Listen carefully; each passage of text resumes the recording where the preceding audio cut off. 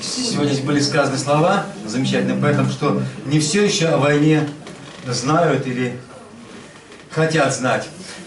И вообще, э, э, немножко обидно смотреть, как некоторые символы меняются, иногда на противоположные. Поэтому я такое непапостное стихотворение включу в сегодняшнюю программу.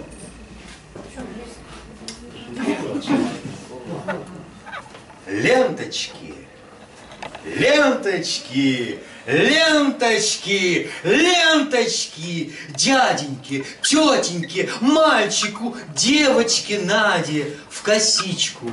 И Любе, и Верочке вяжем нарядные, милые ленточки.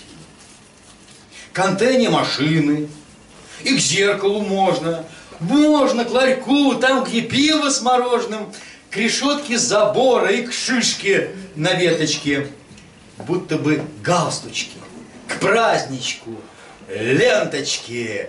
Они подойдут полисмену, девице вон той на углу. А еще продавщицы, кошки и мышки, собачки и деточки. По две не жалко? Бери по три ленточки. Считаете, все это будет носиться? Я так полагаю, что надо гордиться. Чем? Как вам сказать, тут упомнишь едва ли, ну, э, деды, победы там, ну, э, воевали. Мы гордостью гордую будем гордиться, обвяжем что можем, и руки, и лица. Как патриотично, как это галантно. Вяжи сколько хочешь, и главное, бесплатно. К бутылке возьми, к шоколадной медали. В придачу лишь выдали, а не продали. Туристу в походе всегда пригодится. Бомжа, что ютится в подвале столицы, согреют, что угли. Три рыжих полоски. На ватнике стильно, красиво, неброско.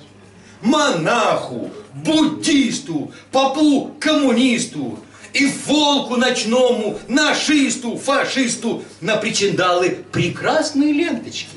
Вместо шнурочков и вместо салфеточки.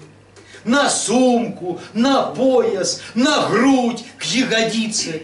И главное помни, гордиться. Гордиться. Браво!